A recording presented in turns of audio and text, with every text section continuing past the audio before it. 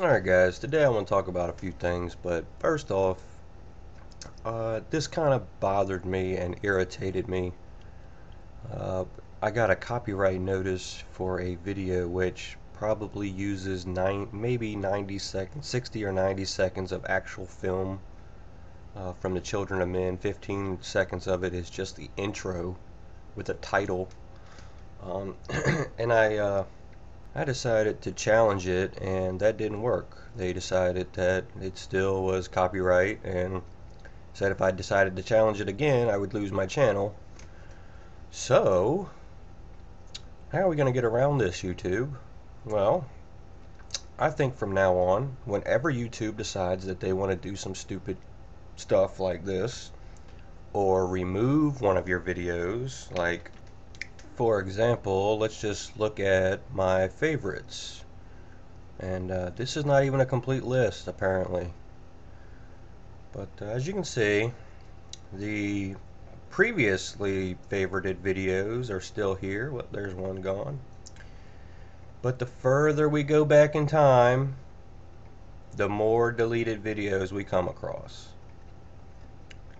Now this is this is uh, stuff that people worked hard on, you know, to, to bring us some information. And YouTube's decided that they're just going to start deleting videos left and right. So how are we going to counter that? Well, one, I recommend that if you have the you know a fast internet connection, you might as well just start downloading some of these videos, especially if they speak to you to the point where you put them in your favorites because we're not going to have anything to show anybody later on after they're done taking everything away. All your all your proof is just being completely removed. So what are we going to do about that? Well, I think every time YouTube decides to remove a video, delete a video, put a copyright on a video, put an ad on your video when you don't ask for an ad to be on your video like they did on mine,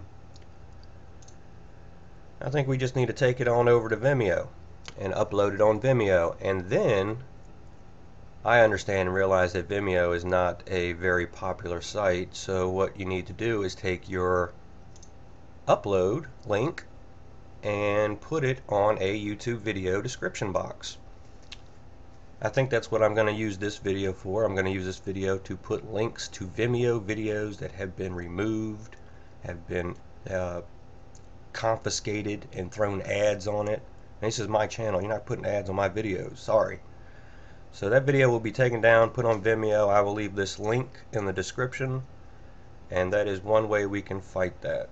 Um, and that's how I'm going to fight it. So you guys do what you want. Now if YouTube wants to go and buy Vimeo, that's fine. There's hundreds of other uh, web hosting sites out there. I don't have to just stick with one or two or the other.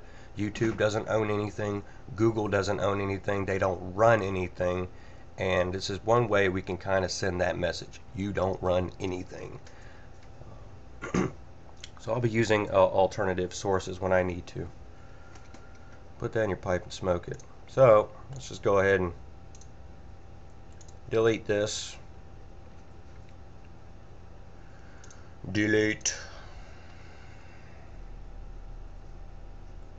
Come on.